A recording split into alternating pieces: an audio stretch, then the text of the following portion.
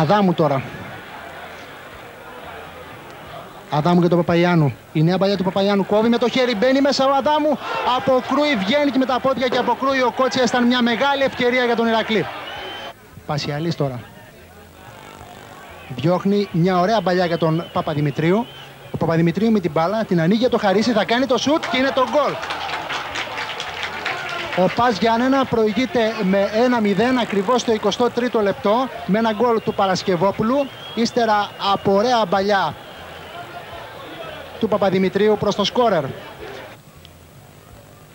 Χατζηπαναγής.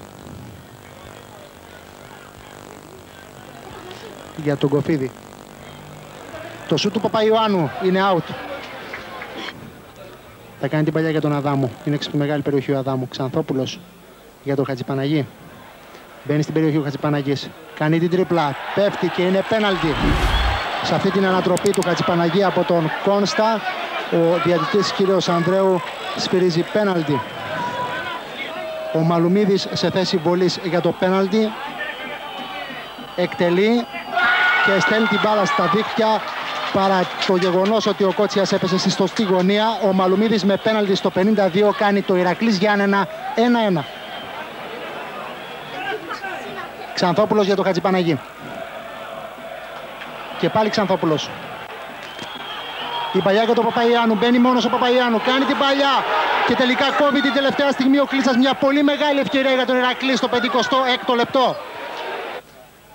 Για το Χαρίση. Κάνει τη σέντρα ο Χαρίσης. Είναι μόνος στο Παπαδημητρίου μέσα στην περιοχή. Δίνει για τον Παπούλια. Αποκρούει το, σου, το νέο σου του Παπούλια και μπλοκάρει ο Γεωργίευ στη γωνιά του. Κοφίνης τώρα.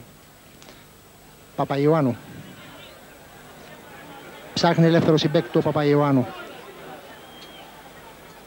Δίνει για τον Αδάμου. Θα γυρίσει ο Αδάμου. Χάνει την μπάλα ο Κότσιας. Προσπαθεί ο, Παπα... ο Μαλουμίδης. Κάνει τη σέντρα. Είναι μόνος του ο, ο Παπαδόπουλος. Και θα κάνει το 2-1. Έγινε το γύρισμα από το Μαλουμίδη μέσα στην περιοχή προς τον Παπαδόπουλο ο οποίος δεν δυσκολεύτηκε να στείλει την μπάλα στα δίχτυα του Πας και να γράψει το 2-1 για τον Ερακλή ακριβώς στο 71ο λεπτό. Κόνστας τώρα. Και αυτή τη στιγμή ο Αθηναίος διαιτητής κ. Ανδρέου σφυρίζει τη λήξη του αγώνα.